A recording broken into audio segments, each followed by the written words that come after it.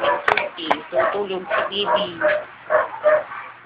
Nakitsura ni Bibi. Pag natutulog. Duyan, gawa ni Tidoy. Ha, taasan ka. Baby. Baby. Tulog-tulog yan si Baby.